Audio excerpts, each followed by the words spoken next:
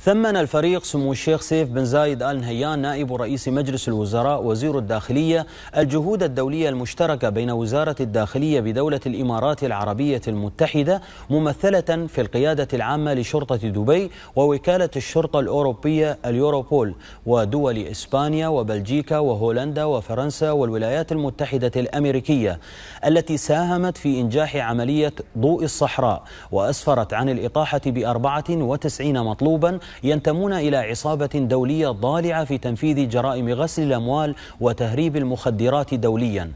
وأكد الفريق سمو الشيخ سيف بن زايد آل نهيان أن العملية تأتي في إطار التعاون الدولي للمساهمة في مكافحة جرائم غسل الأموال والإتجار بالمخدرات العابرة للحدود الوطنية مشددا على حرص دولة الإمارات على تطوير العلاقات العميقة مع مختلف الأجهزة الشرطية عالميا للتصدي للجريمة المنظمة في كل مكان وجعل العالم مكانا ينعم فيه الجميع بالأمن.